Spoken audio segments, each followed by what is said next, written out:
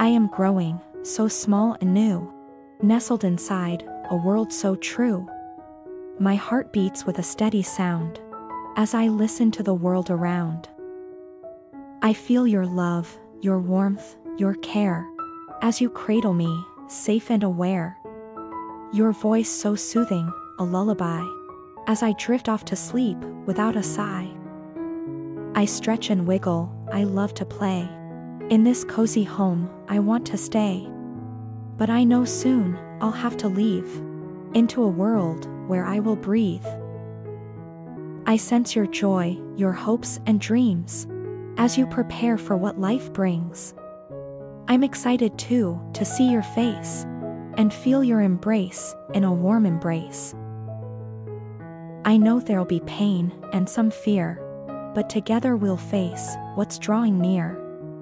With every moment, we'll share this bond.